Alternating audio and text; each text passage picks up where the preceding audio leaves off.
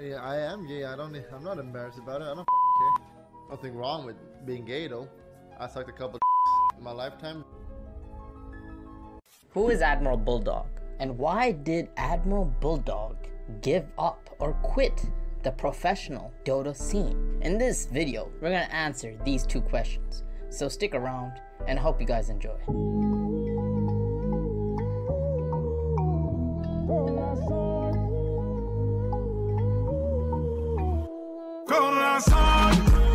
He was a legendary Nature's Prophet and Lone Druid player. He won the International of 2013 with Team Alliance. Due to that win, his fame has grown. In fact, to this day, his fame is beyond one's imagination. He is a very prominent figure in the Dota world because he streams live, especially on Twitch. Why do I have eyes for? Did I didn't click this? What the f is this? What the hell is that? Oh my god! This game is so bugged, seriously. To this day, he has many followers, many fanatics, many girls that like him as well. Yes, you can see a clip right here where he's flirting with every single girl that he sees. My god. Let me coach you, baby. I'll show you. Uh huh. I bet you will, Admiral Bulldog. I bet you will. Anyways, nevertheless, people love him for that, especially for his funny antics and memes. I, everybody loves you. Oh, they're jealous because I have fever. Uh, I mean, uh, what can I say? Uh, when I saw Ember Buckler, it got a little bit questionable. I mean, uh, we've seen Puppey do it on his heroes, and it's like, I don't know how good it is. But then, I'm pretty sure Puppey forced him to do that, and then mid one was like, please no, and then he just gives a look.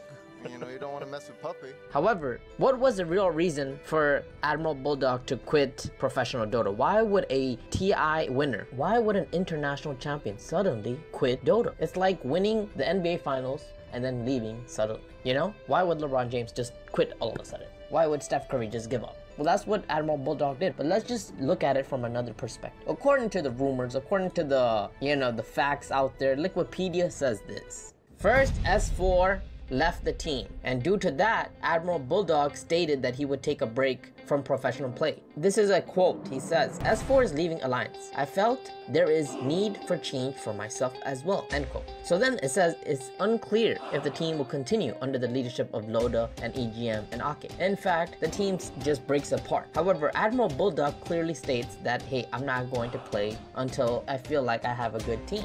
That's pretty much what he says. Despite that, we still have very beautiful memories of Admiral Bulldog, especially on his Lone Druid and Nature's Prophet. People feared these two heroes by him. Dive underneath the tier 1 tower between Alliance and Navi before. Although also Vost on the Radiant side, turning things around, getting himself a triple kill. This time around, it's Saniko trapped. Admiral Bulldog with the full-on surround. He's going to get first blood.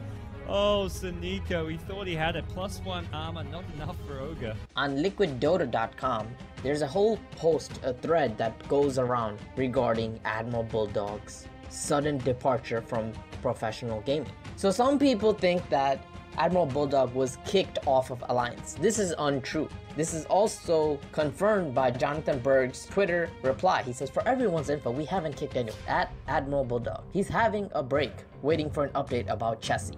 So if you want to know who's Chessie, Chessie was another stand-in player that got hurt. He had an injury on his back, and due to that, the team was just feeling out of place. Once Chessie was hurt, S4 was deciding to leave, Admiral Bulldog took a break. So the whole team was in a very, very bad situation. Also, Bulldog later on the stream says that he's not having a permanent roster and that he has lost motivation for professional gaming. So until he has a very solid team, he will be unlikely going back to Pro Dota.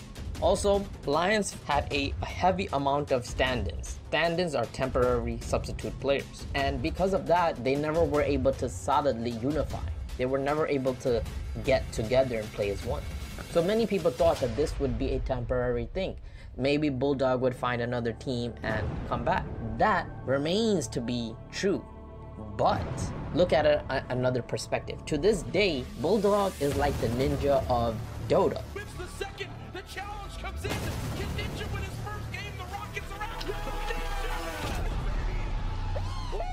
I mean, he's not making as much money, but he is making a heavy amount of money, especially due to Twitch streams. So many people just watch it and don't know about it, but he doesn't have to play professional Dota because it's too risky.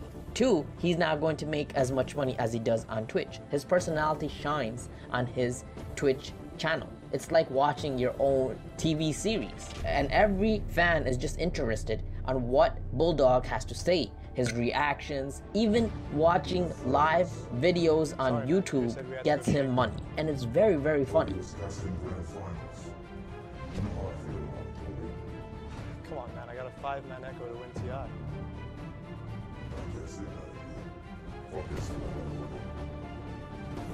what the fuck?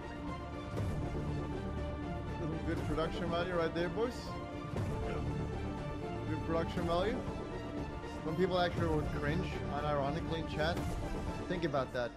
So, due to the sudden disappearance of Bulldog, many fans around the world were devastated. They were sad. Everyone kept saying, Come back, love you, my beloved Admiral, my nature's prophet, you know, the Rat King, etc., etc. Some people even started to say that Admiral Bulldog ran away from the team when they needed him the most. Now, this is a little overboard. They said that he quit on Team Alliance when they were going through their toughest time. It's like your family is having their worst time in their history. They're having to file bankruptcy. Their business is, is going out of proportion, and all of a sudden, everybody bails out one another. That's pretty much what Bulldog did. However, he also had to think of it from his perspective. What about my own future? And he thought that, hey, if my personality can shine on Twitch stream, why can't I make a living out of it? Yeah, I mean, one of the reasons it is successful is because I won a TI as well. So, I mean, yeah, if, if my stream was not successful, if I couldn't make a living off it, I'd have to make a living somehow. And it's play competitive, and, you know, which is kind of a dream for a lot of people, or be a janitor. So, I mean, it would be an easy choice for me. and this is what he continues to do. It's like similar to what SingSing is doing. SingSing to this day is a live streamer on Twitch and he makes tons of money by doing it. So, what does this say about Swedish players in the Dota scene? Well, Swedish players are very known to be nice people. If you hear a Swedish person cursing, it seems like they're giving you a hug. Honestly, I can't take it seriously. But nevertheless, the Swedish scene, ever since Alliance has fallen, it has not been the same. Ever since Bulldog's departure from Alliance, is just not the same anymore. So, for the entirety of the Swedish nation, it's a shock for them, especially because they loved Alliance so much. And now that these players are all scattered everywhere, it's sad for the nation of Sweden, especially because they don't have that much representation in Dota as they had in the past. Today, Alliance continues to, you know, slither around with second tier players, and it's just not the same as it was in the past. Many players on the forums were suggesting about players replacements for S4, for Bulldog, etc. But honestly, those were the legends of Sweden, of Swedish Dota. And without them, it's not the same. You can replace them, but you won't have the same feeling. You won't have that lone druid bulldog. You won't have nature's prophet gameplay. You won't have S4 puck. It's not gonna happen. You won't have Loda's raging antics, his rage buybacks, and coming back. You don't have that anymore. It's just not the same.